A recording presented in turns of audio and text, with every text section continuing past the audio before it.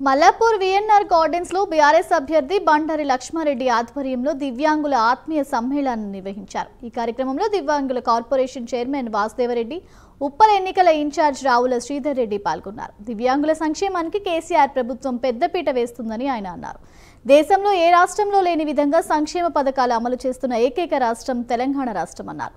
మరోసారి బీఆర్ఎస్ అధికారంలోకి రావడానికి ప్రతి ఒక్కరూ కారు గుర్తుకు ఓటు వేయాలని కోరారు.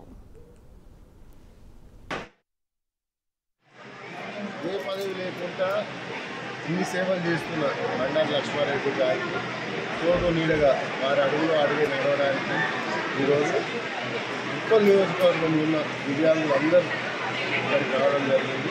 వాళ్ళందరూ ఏకకంఠంతో బండారు లక్ష్మారెడ్డి గారికి తీర్మానం చేయడం జరిగింది. రేపు రానున్న ముప్పై తొమ్మిది నాడు జరగబోయే ఎన్నికలలో బండారు లక్ష్మారెడ్డి గారికి ఓటు వేసి వారిని గెలిపించాలనే ఆకాంక్షతో ఎలా ఇవాళ దాదాపు మన నియోజకవర్గంలో దాదాపు పన్నెండు వేల మంది విద్యార్థులు సో వారందరూ ఒక ఆశీర్వాదం ఇచ్చి మేమున్నాం నువ్వు ఖచ్చితంగా ఎమ్మెల్యే తిరిగి రాని మన బండారు లక్ష్మారెడ్డి గారిని ఆశీర్వదించడానికి ఇక్కడ వచ్చారు ఖచ్చితంగా బండారు లక్ష్మారెడ్డి గారి గెలుపు అనేది ఆల్రెడీ ఖరారైపోయింది. ఓన్లీ మనం ఎదురు చూడాల్సింది ఏంటంటే బండారు లక్ష్మారెడ్డి గారు ఎంత మెజార్టీతో గెలవబోతున్నారు దానికోసమే మూడో తేదీ వరకు వేచి ఉండే అవసరం ఉంది. గెలుపు అనేది ఆల్రెడీ అయిపోయింది.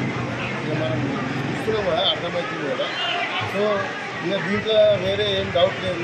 లక్ష్మారెడ్డి గారు ఆల్రెడీ ఎమ్మెల్యే అభ్యర్థి గారు ఎమ్మెల్యే ఉప్పల్ కాన్స్టిట్యూన్సీ సో రానున్న రోజుల్లో కూడా ఇవాళ ఏ పదవి లేకుంటేనే బండారు లక్ష్మారెడ్డి గారు బిఎల్ఆర్ చార్జింగ్ వస్తు ద్వారా మరి నిరుపేద కుటుంబాలకు ఉచిత విద్య వైద్య సౌకర్యాలు అందిస్తుంది సో ఎవరికైనా నిజంగా ఏదైనా పెద్ద రోగం వచ్చో లేకపోతే ఎవరికైనా హార్ట్ అటాక్ వస్తే కూడా వాళ్ళని కార్పొరేట్ హాస్పిటల్స్లలో ఫ్రీ ట్రీట్మెంట్ ఇచ్చే కార్యక్రమాన్ని ఇవాళ లక్ష్మారెడ్డి గారు చేస్తున్నారు.